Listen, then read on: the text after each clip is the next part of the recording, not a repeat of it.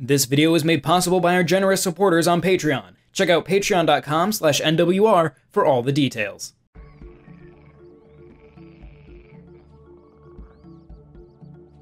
After years of going through a Golden Corral buffet line of roguelites that either use the randomized stretcher to pad length, didn't understand what fundamentally makes the genre great, or were legitimately great but couldn't capture my attention, I found the perfect fit.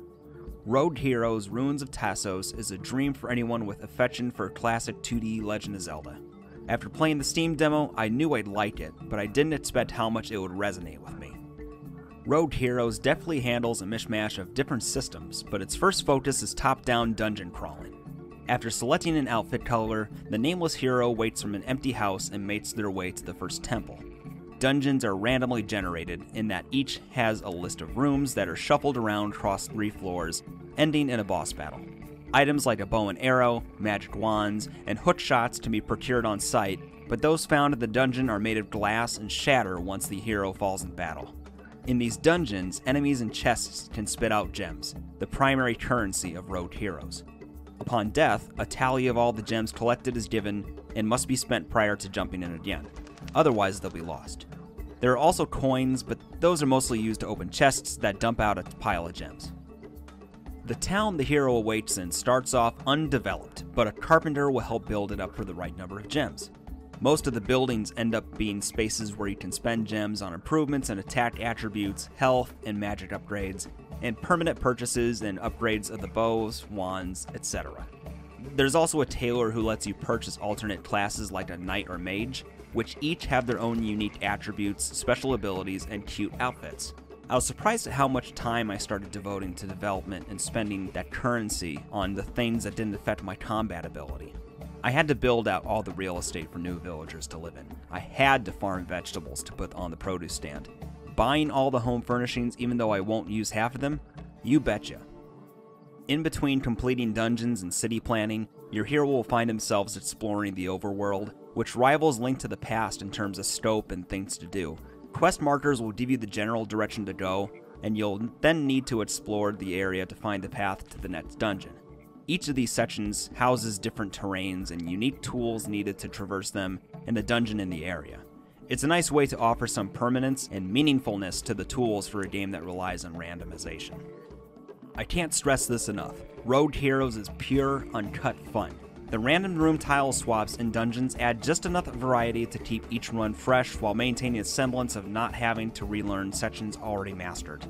Upgrading abilities and attributes with gems makes your character more noticeably powerful with every run. While most tools and side weapons aren't necessary to complete a dungeon, they're a good assist in tougher combat focused sections. The different class options are just different enough where they require meaningfully different combat and puzzle solving strategies. If the single player experience is a gratifying upward climb to being a hero, then multiplayer is a beautiful chaos engine. Up to four players can join up, each with their own profiles, characters, and leveling progression. The dungeon layout doesn't change much to accommodate the extra heads, but some puzzles now require cooperation between players to hit switches or push blocks in concert with each other. Players also get an extra chance at life, with altars interspersed throughout that can resurrect a fallen hero, as long as one teammate carries their remains there. While a hero is dead, they can fly around as ghosts and possess items, which is a fun way to get players to stay active. I Sherpa'd my wife and two young sons through the first dungeon. It was like herding cats, but it was one of my favorite gaming experiences so far this year. There might be some things that could detract from your experience. If you're playing co op, the camera can sometimes pan out to an extreme degree. You're going to see the same puzzles in a dungeon several times because of the roguelike nature, so after the 10th time attempting the dungeon, the experience could grow stale for some. The randomization of tools in dungeons means several of the ones you get won't be necessary as a puzzle solving device, so you can't expect that finely crafted experience inherent in most 2D Zelda games. None of that could dull my enthusiasm, though.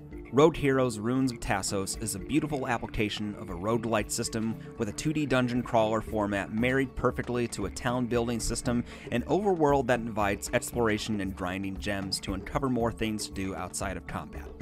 This is a no brainer for classic Zelda fans or anyone looking for co op fun, and it's absolutely been the best gaming experience so far for me in 2021.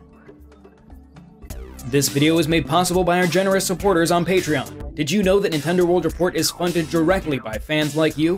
When you support Nintendo World Report on Patreon, you get immediate access to multiple exclusive podcasts every month, exclusive Discord channels, an early look at select content, and more, all for as little as a dollar a month.